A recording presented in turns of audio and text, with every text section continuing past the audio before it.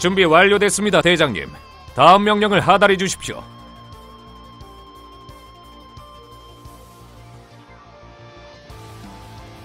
어, 민간인이라고 하기에는 지나치게 수상한 행색을 하고 있고. 이봐, 넌 대체 뭐지? 여기서 뭘 하고 있는 거야?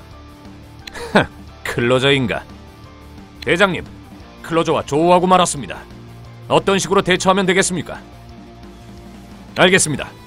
이대로 이탈하겠습니다. 내 말 안 들렸나? 말이 안 통한다면 주먹으로 묻는 수밖에 없는데. 나한테 신경 쓸 시간은 없을 것이다, 클로저. 이제부터 이곳은 전장이 될 테니까. 그럼 한번 열심히 해봐라. 그리고 잠깐의 평화를 실컷 누려둬라.